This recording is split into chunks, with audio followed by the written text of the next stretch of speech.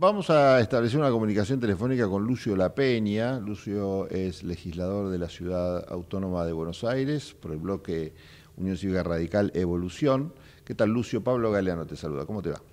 ¿Cómo estás, Pablo? Buenas tardes a vos y a toda la audiencia. Bueno, buenas tardes. Eh, hace unos días eh, estuvo en sesión la legislatura porteña y allí se aprobaron algunos proyectos que se impulsaron desde la Unión Cívica Radical, Evolución de la Ciudad, para modificación de una ley que tiende a, o esta modificación en realidad tiende a aliviar un poco los bolsillos de los contribuyentes porteños. ¿no? En este caso, por ejemplo, eh, ampliar el límite de facturación para el pago de ingresos brutos, adecuando los montos mínimos y máximos a partir de los cuales un contribuyente del régimen simplificado abona su cuota por ingresos brutos, números que con cualquiera que habla que tiene o su comercio, su emprendimiento o alguna razón por la cual pagar ingresos brutos, sabe que está siendo bastante afectado por esta injusticia, ¿no? Sin ser un millonario está pagando ingresos como eh, impuestos como si lo fuera, ¿no?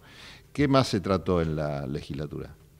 Bueno, otro proyecto importante de, nuestro bloque que, impulsamos nosotros fue una modificación también de la ley tarifaria para bajar los montos que cualquier ciudadano o persona que, puede o tiene la suerte en este contexto tan complicado de adquirir su vivienda mm. eh, única y de ocupación permanente, es decir, la, casa donde uno vive.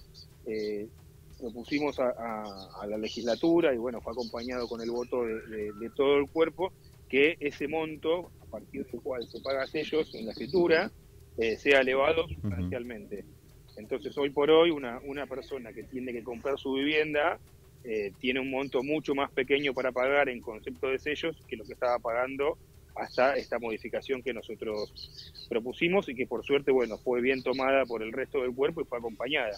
La verdad que estas pequeñas cuestiones que ayuden en ese contexto tan complicado que están viviendo los porteños y porteñas eh, para aliviar algún tipo de costo, ya sea este, en el caso de aquellos que hoy pueden adquirir su casa o puedan mudarse de una vivienda a otra, lo puedan hacer, y en el caso también de lo que comentabas recién, de los proyectos de mi autoría, del régimen simplificado de ingresos brutos, también producir un alivio para que eh, muchas, muchos emprendedores o cuentapropistas que hoy están en ese régimen no se pasen al régimen general, que como bien sabrás tiene otro tipo de tratamiento impositivo muy complejo, o también por aquellos que puedan estar en una escala inferior y hoy, producto de la no optimización de las escalas, no puedan hacerlo.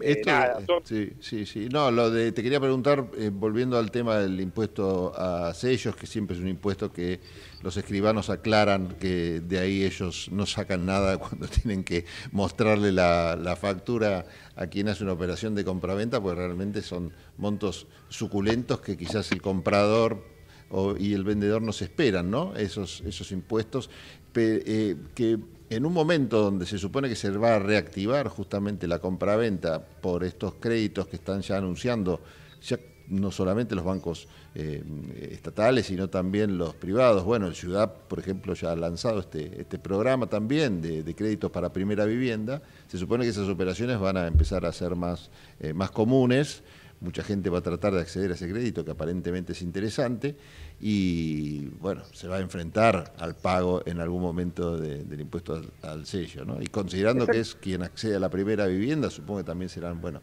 eh, público, joven, ¿no? Está pensado, está pensado, obviamente que no solamente es, no, es primera vivienda, sino que es vivienda única, así que cualquier persona que hoy tenga una vivienda pero que la venda para adquirir otra, que sea la vivienda donde va a vivir y no tiene ningún otro bien, va a estar alcanzada por esta medida.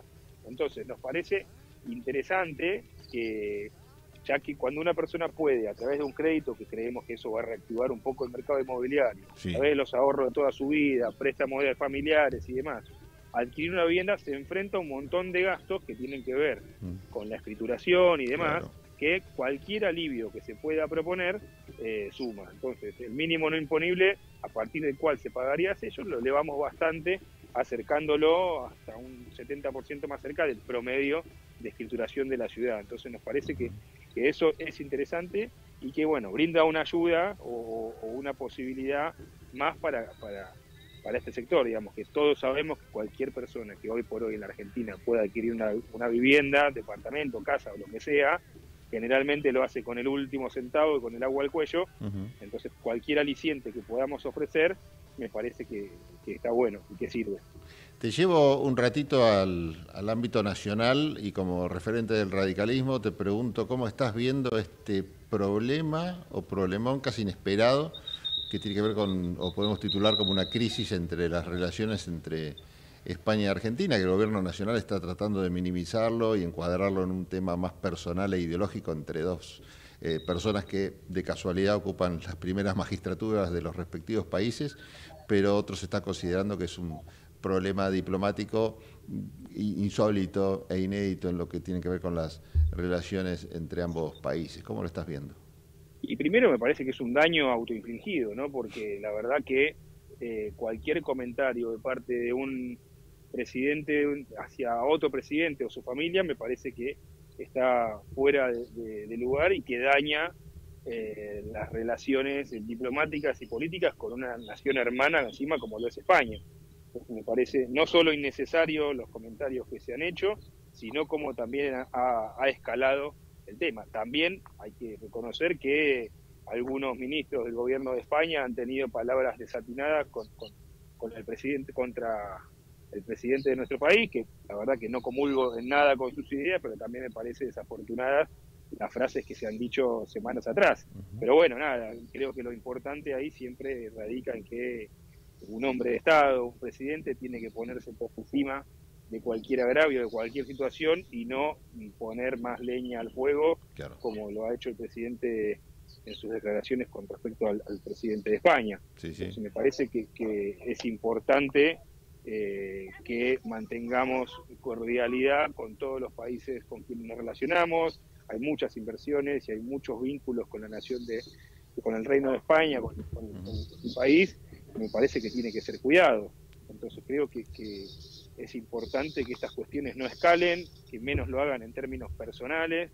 Eh, me parece que hay que poner paños fríos y volver a la senda de, la amistad que nos caracteriza con, con España. Sí, eh, llamó la atención también, y era medio de esperar, las declaraciones de algunos representantes de las empresas españolas, eh, radicadas algunas en la Argentina y otras con inversiones actuales o, potenciales, que bueno, que fueron muy críticos también para con las palabras del, presidente Milei en función de este tema, ¿no? Digo, por ahora no pasan de declaraciones y esperemos que no se concreten en, salidas de capitales u otras otras u otras medidas de esa naturaleza. No, eh, eh, esperemos que no, pero me parece mm. que, hay que, mencionar también que es innecesario que el presidente de nuestro país, el mm. presidente que ha sido votado por el 56% de la población, que nos representa a todos de cara al mundo, no me parece atinado que esté participando o inmiscuyéndose en la política interna de España. Recordemos que